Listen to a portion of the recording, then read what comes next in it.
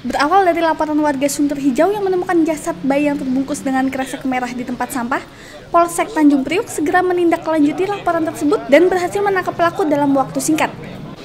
Kapolsek Tanjung Priuk Kompol Supriyanto menyampaikan motif tersangka membuang bayinya karena merasa malu telah hamil di luar nikah. Eh, menurut keterangan bayi lahir dari kamar mandi dimasukin dalam sini. Ember ya ember. setelah ini dimasukkan dalam plastik ini.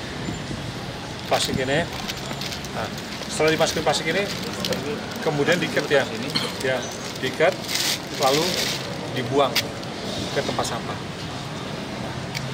begitu kami cek ke tempat TKP di bawah pimpinan kali kita cek ke TKP ternyata ada bukti petunjuk yang mengarah kepada tersangka. Akhirnya begitu lain kita datang, kita amankan dan setelah kita datang dia apa, mengakui semua atas perbuatannya dan ini bukti anduk yang setelah mereka lahiran dilap dengan anduk ini dan ini tanah ini baju yang digunakan. Motifnya apa dan? Nah motif, motifnya mereka mungkin malu karena mereka belum nikah gitu. dan mereka kerja di rumah tersebut sudah tujuh bulan. Dari penangkapan ini, polisi menemukan barang bukti berupa sepasang pakaian wanita, handuk, pakaian dalam wanita, ember, dan plastik yang digunakan untuk membuang bayi. Tersangka dikenakan pasal 80 ayat 3 dan 4 Undang-Undang Republik Indonesia nomor 35 tahun 2014 tentang perlindungan anak.